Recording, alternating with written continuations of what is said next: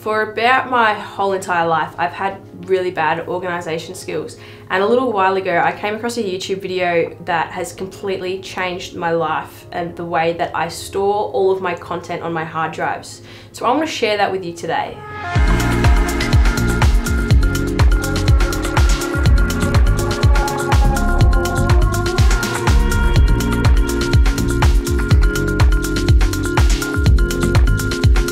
What's going on guys? Welcome back to the channel. If you're new here, my name is Rachel and I'm a freelance videographer living in Melbourne, Australia.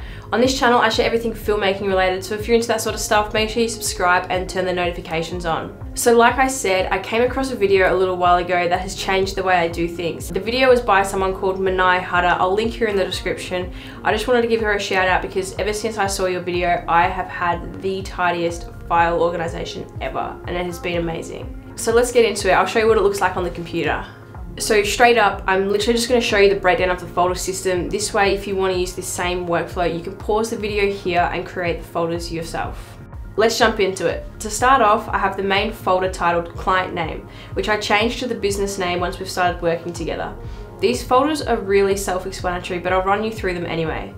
This branding folder is where I put logos, fonts already branding decked that the client gives me.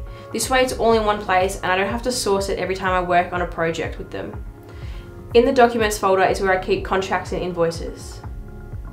Now when we start working on a project together, I change the title of this folder to whatever the job is and sometimes even include the date in it.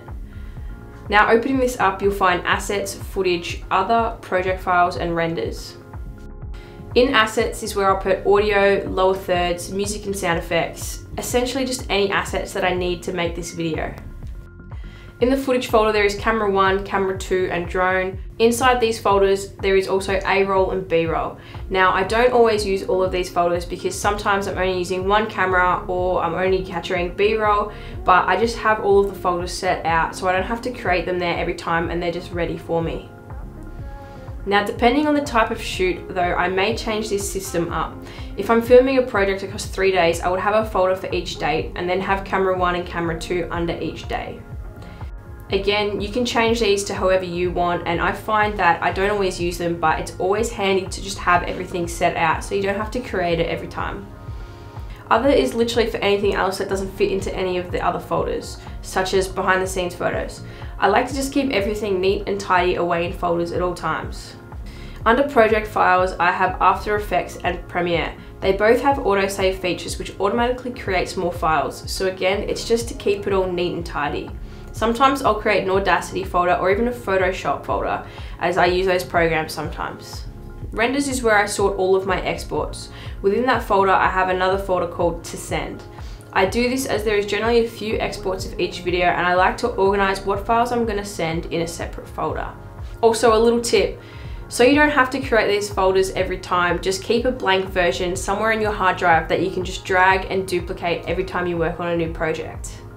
Whenever I've finished up at a shoot and have dumped all of the footage onto my hard drive, I like to drag and drop the folder onto a separate hard drive just to have a backup.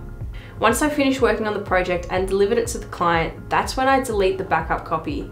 I've never lost any client work before, but you can never be too safe. Not only will this improve your workflow, but it will make others' lives easier too. Having great file organization will mean you're able to seamlessly hand over a project to somebody else to work on. That's it for today's video guys. I hope you learned something. If you did, let me know down in the comments and even consider subscribing. I'll see you in the next one.